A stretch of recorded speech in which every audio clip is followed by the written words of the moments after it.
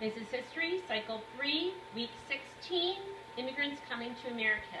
From 1820 to 1830, that shows the passing time, millions of immigrants came to America, the melting pot, seeking freedom and opportunity. And then it says cha-ching. So you do cha-ching like this to increase their personal wealth. Cha-ching.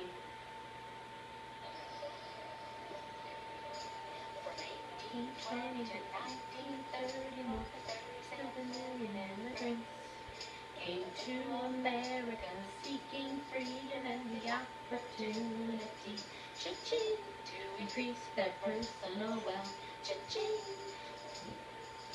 From 1820 to 1930, more than 37 million immigrants came to America seeking freedom and the opportunity.